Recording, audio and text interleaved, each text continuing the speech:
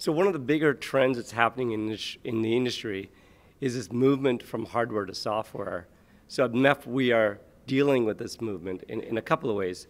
Number one, if you think about it, when in a standards org organization, you actually go ahead and you build high quality specifications because those specifications have to go into hardware and silicon specifically built that specification.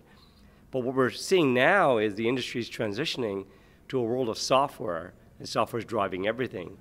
And if you think about what we're talking about here is, if you do talk, talk about software, it has to be highly agile and it has to be able to handle many releases. And the spec has to move faster because we're in a world of you know, very rapid innovation, all driven by software.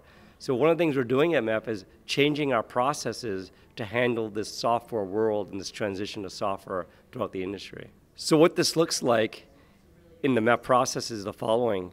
We are now looking at areas of how we can incubate the standard process in, in a way where we're using these implementation projects before even spec comes out. We're testing stuff in software, we're working with software developers, and we're building out, for example, APIs, looking at them, testing them, looking what the functionality is, and how they behave, and then we're implementing them into the standard process much, much more faster. So think of it this way.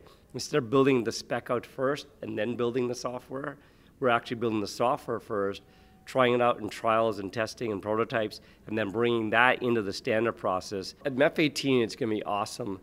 I, am really excited about a number of fronts.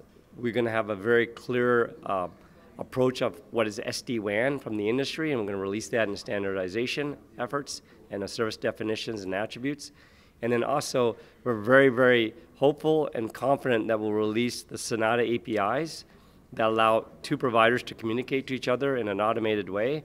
And we're done a lot, a lot of work in the last year plus, but now we're finally going to hopefully publish that uh, to the greater community in the industry to create that innovation.